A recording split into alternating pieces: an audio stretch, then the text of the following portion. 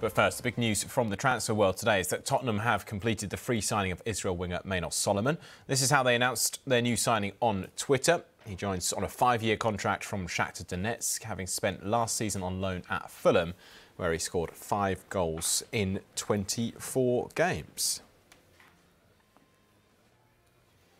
And Michael Bridge joins me now to bring us right up to speed with this deal. Michael, what can you tell us? Yeah, he's a winger that Ange Postecoglou likes, uh, an inverted left winger, which adds a bit more competition in those positions.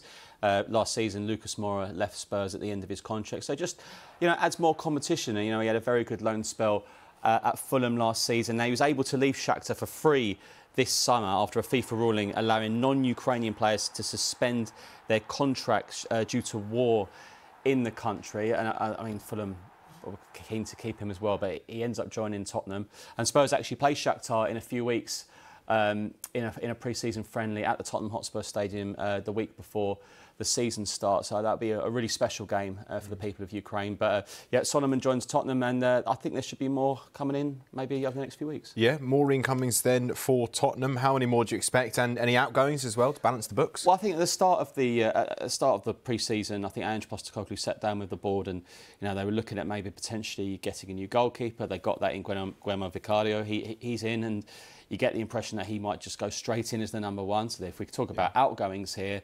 Uh, you know, I expect Hugo Lloris to leave. He, I mean, he has said this to French media that he wants a new challenge. He's the club captain, so plenty of change at Spurs this summer. Um, I think a couple of defenders might move on as well. There's interest abroad for, for Davinson Sanchez.